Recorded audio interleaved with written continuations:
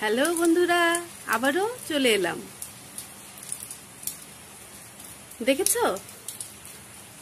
আজ কেমন? থেমে থেমে বৃষ্টি হচ্ছে।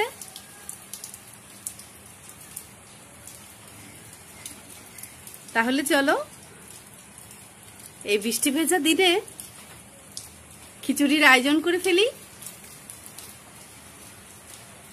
তাহলে আমার সাথে থাকো, দেখে নাও আমার ভুনা খিচুড়ি রেসিপিটা। বন্ধুরা, আজকে আমি তোমাদের দেখাতে চলেছি ঘরে থাকা সাধারণ উপকরণ দিয়ে ভুনা খিচুড়ি রান্না। আমার যেহেতু চাল আর ডাল ধোয়ার পদ্ধতি এক নয়, সেজন্যই আমি প্রথমে চাল ডাল আলাদাভাবে নিয়ে নিচ্ছি।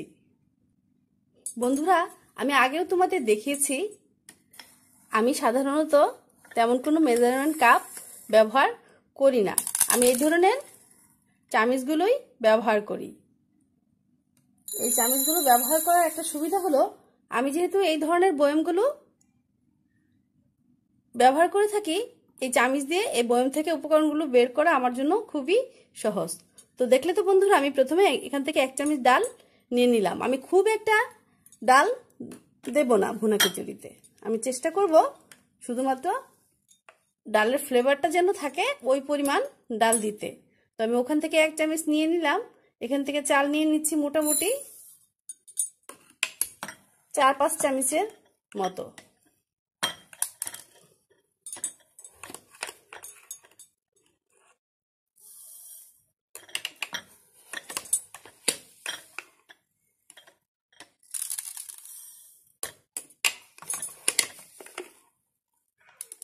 আমি মোট চার চামচ নিলাম। আমার মনে হয় আর লাগবে না। বাটি অনুযায়ী বা আমার যে মেজারমেন্ট সে অনুযায়ী একদম ঠিক আছে। কারণ তোমরা তো জানোই, আমরা ফ্যামিলিতে মাত্র তিনজন সদস্য। আমি, আমার প্রিন্সেস আর আমার সুপার হিরো তো প্রথমে আমি ডালে দিয়ে দিব একদম গরম পানি। এটা কিন্তু আমি ভিজিয়ে রাখব না বন্ধুরা। এই তো দিলাম, চালে দিয়ে ধুতে চলে যাব। যদি আমরা ভিজিয়ে রাখি, তাহলে ডালের উপরের যে ময়লাটা, সেটা ডালের ভিতর ঢুকে যাবে। ডাল খুব সহজেই যাতে পরিষ্কার হয়, সেজন্যই আমি এই পানিটা, গরম পানিটা ব্যবহার করে থাকি। চালটা আমি ধুবো একেবারে ঠান্ডা পানি দিয়ে। সামান্য একটুখানি নেড়ে দিয়েই আমি ধুতে চলে যাব। ধোয়ার পরে একটা স্ট্রেনারে একসাথে করে চাল আর ডাল পানি ঝরানোর জন্য দিয়ে দিব। তাহলে বন্ধুরা, তোমাদের সাথে দেখা হচ্ছে একেবারে কিচেনে চলো তাহলে, এই ফাঁকে আমি বয়মের মুখগুলো বন্ধ করে দিয়ে দিচ্ছি। তাহলে চলো বন্ধুরা, ভোনা খিচুড়ি করার জন্য প্রথমে আমি করে নিচ্ছি এক কাপ পরিমাণ পেঁয়াজ বেরেস্তা।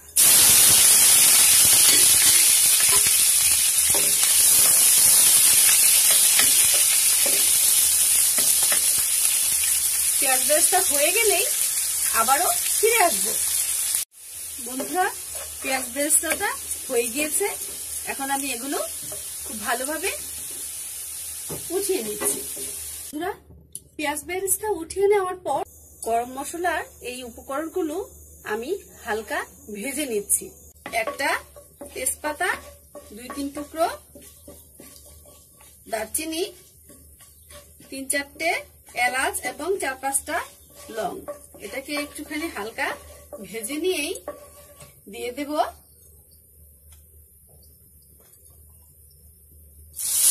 দু টেবিল চামচ পরিমাণ পেঁয়াজ বাটা। দিয়ে দেব এক টেবিল চামচ পরিমাণ রসুন বাটা। সেই এটাকে একটুখানি মেরে দিয়েই দিয়ে দেব।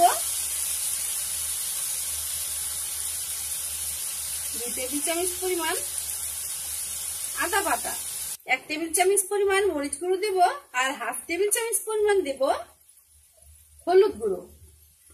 আর সেই সাথে দিয়ে দেব দুই টেবিল চামচ পরিমাণ ধনে গুঁড়ো। তো মশলাটা কষে যাওয়া পর্যন্ত অপেক্ষা করব, যখন মশলাটা কষে যাবে, সেই পর্যায়ে এটা তেলও ছেড়ে দেবে। তাহলে আমরা অপেক্ষা করি মশলাটা কষে যাওয়া পর্যন্ত। বন্ধুরা, আমি এ পর্যায়ে ভুনা খিচুড়ির জন্য দিয়ে দিচ্ছি মোটামুটি এক চা চামচ পরিমাণ জিরে গুঁড়ো এবং এটা অবশ্যই ভাজা জিরে গুঁড়ো। ভুনা খিচুড়িতে আমি সবসময় ভাজা জিরে গুঁড়োটাই বেশি পছন্দ করে থাকি।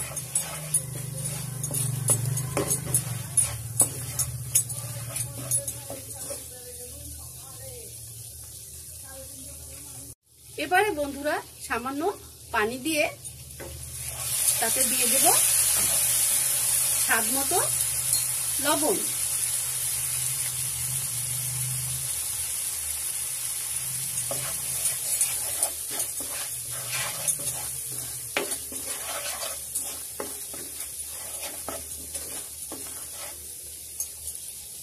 এখন অপেক্ষা করব মশলা ভুনা হয়ে যাওয়া পর্যন্ত। বন্ধুরা, মশলা কষানো হয়ে গিয়েছে। আমি এই পর্যায়ে দিয়ে দিচ্ছি সেই ডাল এবং চাল একসাথে যে মিশিয়ে রেখেছি এবং আলাদা আলাদা ভাবে ধুয়ে দিয়েছিলাম যদিও কিন্তু দেওয়ার আগে সব একসাথে মিশিয়ে সেটাকে দিয়ে দিচ্ছি এই মশলাটার উপর। এবং এটাকে খুব ভালোভাবে এবার কষিয়ে নিব।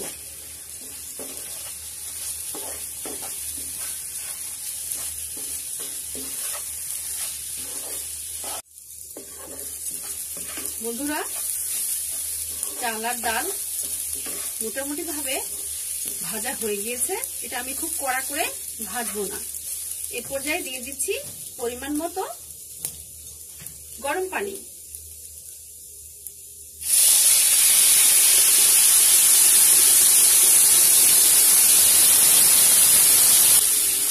গরম পানিটা দিয়ে আমি এটাকে খালি মেরে দেবো খুব ভালোভাবে। যাতে চালার ডালগুলো গলা পাকিয়ে না যায়। তো পানিটা মোটামুটি ভাবে শুকিয়ে আসা পর্যন্ত আমরা অপেক্ষা করব। এরকম পর্যায়ে এলে আমি দিয়ে দিব কয়েকটা কাঁচামরিচ। দিয়ে এটাকে নেড়ে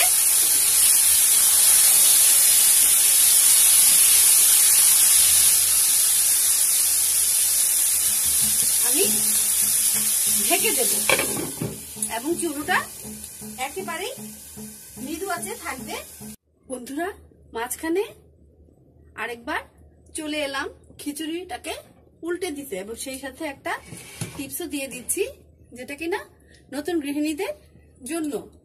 নতুন গৃহিণীদের বলব, তোমরা যখন কোনো জিনিস দমে বসাবে, তখন এই যে কড়াইয়ের যে লিডটা আছে সেই লিডের এই ফুটোটাকে একটা টিস্যু পেপার দিয়ে কিংবা একটা কাগজ দিয়ে বন্ধ করে নিবে, তাহলে খুব সহজেই তুমি যাই বসাও না কেন, খুব তাড়াতাড়ি সেদ্ধ হয়ে যাবে। তাহলে বন্ধুরা, এবারে একটুখানি নাড়িয়ে দিচ্ছি এবং আবারও ঢেকে রাখব মোটামুটি দশ মিনিটের জন্য। তাহলে বন্ধুরা আবারও ফিরে আসব। বন্ধুরা, আমার খিচুড়িটা প্রায় হয়ে গিয়েছে। আমি এখন এতে দিয়ে দেব খুবই সামান্য পরিমাণ চিনি এবং এটা আমি সম্পূর্ণ দিচ্ছি আমার ইচ্ছেতে। তোমার যদি মনে না চায়, তাহলে তুমি এটা স্কিপ করে যাবে। এই চিনিটা এ পর্যায়ে কিন্তু মশলা হিসেবে কাজ করে। এটা একটা স্বাদে ব্যালেন্স আনে বলতে পারো।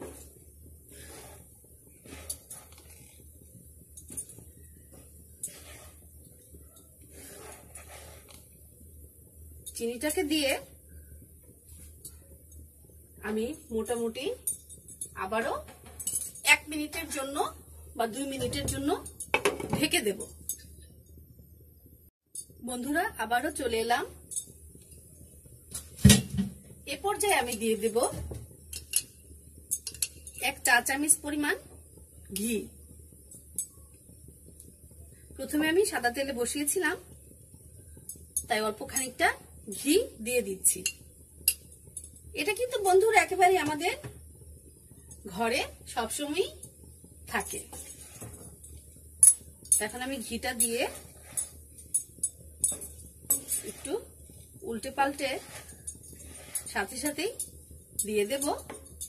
সেই আগে থেকে যে করে রেখেছিলাম, পেঁয়াজ বেরেস্তা, সেটা। এ পর্যায়ে পেঁয়াজ বেরেস্তাটাকেও খুব ভালোভাবে খিচুড়ির সাথে মিশিয়ে দেব। খিচুড়িটা কিন্তু বন্ধুরা অনেক ঝরঝরে হয়েছে। তবে আমি তোমাদের পানির পরিমাণটা বলিনি যদিও। আসলে কি বন্ধুরা? এক একজন এক এক ধরনের চাল খেয়ে থাকেন। তাই পানির পরিমাণটাও ঠিক মতো বলা যায় না। অনেক সময় পুরনো হলে পানি বেশি লাগে আর চাল নতুন হলে পানি কম লাগে। এছাড়া বাজারের যে ভিন্ন ভিন্ন ব্র্যান্ডের চালগুলো পাওয়া যায়, সেগুলো তুমি রান্না করতে গেলেও দেখবে পানির রেশিওটা হেরফের হচ্ছে। তুমি দু একবার রান্না করলেই তুমি তোমার পানির পরিমাপটা জেনে যাবে আস্তে আস্তে। এবারে দিয়ে দেব হাফ টিস্পুন পরিমাণ গরম মশলা। এটাকে খুব ভালোভাবে মিশিয়ে দিয়েই এখন আমি এটাকে ঢেকে দেব পাঁচ মিনিটের জন্য। বন্ধুরা, চলে এলাম পাঁচ মিনিট পর। আমি এটাকে পাঁচ মিনিট এই জন্য ঢেকে রেখেছিলাম।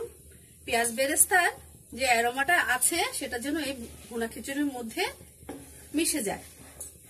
আমি পুনরায় একটু নেড়ে দিচ্ছি।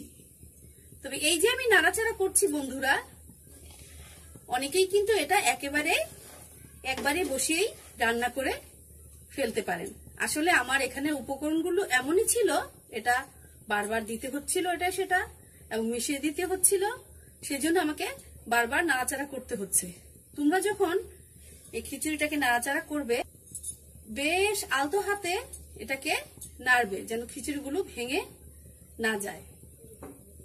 তাহলে বন্ধুরা, আমার হয়ে গিয়েছে ভুনা খিচুড়ির রান্না। এটাকে আমি এখন ঢেকে রাখব এবং চুলোটা বন্ধ করে দিব। কিছুক্ষণ স্ট্যান্ডিং টাইমে রেখে তারপর চলে যাব পরিবেশনে। বন্ধুরা, এটাই ছিল আমার ভোনা খিচুড়ি। এটাকে আমি এভাবেই পরিবেশন করলাম। তোমাদের কাছে হয়তো মনে হতে পারে, আপু সবসময় একইভাবে পরিবেশন করে। কিন্তু হ্যাঁ বন্ধুরা, আমি এটা ইচ্ছে করেই করি যেন আমার রেসিপিগুলোর ছবি দেখলে তোমরা সহজেই চেনে যাও, এটা এয়ারএন্স ওয়ার্ল্ডের রেসিপি সেই জন্যেই। তো বন্ধুরা, তোমাদের যদি আমার এই আজকের ভিডিওটা ভালো লাগে, তাহলে যে যেখান থেকে দেখছ, ভিডিওটা শেয়ার করো। যারা ইউটিউব থেকে দেখছ, তারা আমাকে সাবস্ক্রাইব করো, ভালো ভালো কমেন্টস করো। এবং যারা ফেসবুক থেকে দেখছ তারাও আমাকে ভালো ভালো কমেন্টস করো এবং ফলো দিও। তাহলে বন্ধুরা, তোমরা দেখে দিলে খুব সহজেই ঘরোয়া উপকরণ দিয়ে কীভাবে ভুনা খিচুড়ি রান্না করা যায়। বন্ধুরা, তোমরা এই ভুনা খিচুড়িটা খেতে পারো তোমাদের পছন্দ মতো উপকরণ দিয়ে। আমি অবশ্য আজকে এটা মুরগির ঝাল ফ্রাই দিয়ে খেতে চাচ্ছি।